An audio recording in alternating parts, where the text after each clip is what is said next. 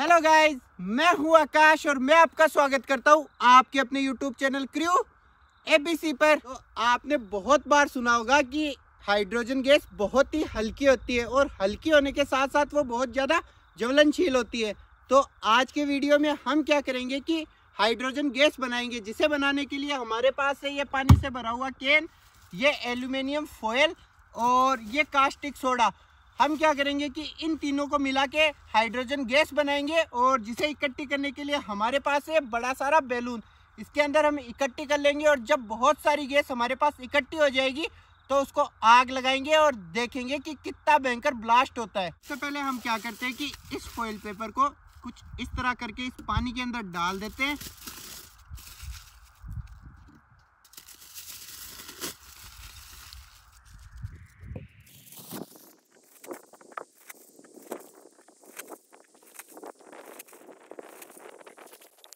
तो हमने हमारे फॉइल पेपर को तो इस कैन के अंदर डाल दिया है। अब हम क्या करते हैं कि इस कास्टिक सोडे को इस बैलून के अंदर डालते हैं। फिर इस बैलून के अंदर कास्टिक सोडा डाल के इसको इस कैन के ऊपर कुछ इस तरह लगा देंगे और फिर इस बैलून को सीधा कर देंगे, जिससे पूरा कास्टिक सोडा इस कैन के अंदर चला जाएगा और रिएक्शन होके हाइड्रोजन गैस बन जाएगी, जो कि इस बैलून के अंदर इकट्ठी हो जाएगी और जब ये बहुत बड़ा हो जाएगा, तब हम इसे आग लगाएँगे और देखेंगे कि कितना भयंकर धमाका होता है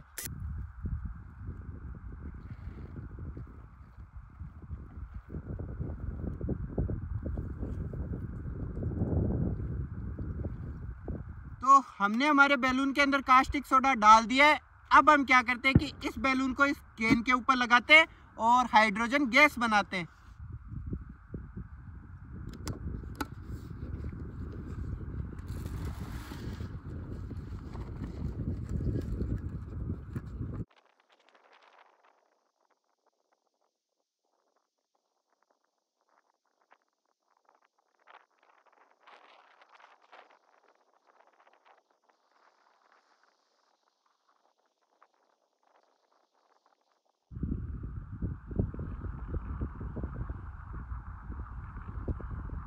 तो हमारे बैलून के अंदर अच्छी खासी हाइड्रोजन गैस भर गई है। अब हम क्या करते हैं कि इसको आग लगाते हैं और देखते हैं कि कितना भयंकर ब्लास्ट होता है।